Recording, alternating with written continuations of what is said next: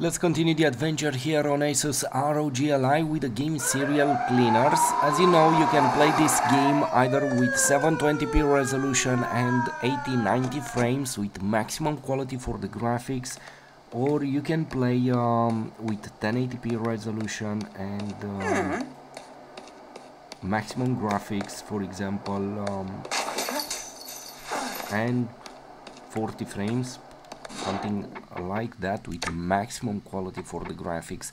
It depends what you want for your uh, gameplay experience.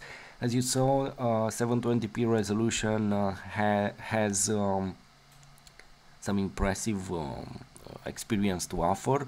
90 frames maximum quality for the graphics as I said in my previous gameplay, um, careful here with the render scale, uh, increase this at maximum because you will have it somewhere at half.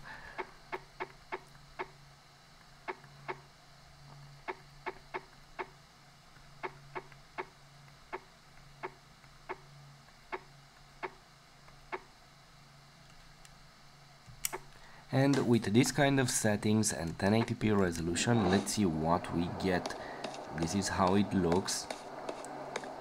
It's a bit different different as far as I uh, I see. Oh, okay, that, but we have 60 frames. And let's switch back to maximum quality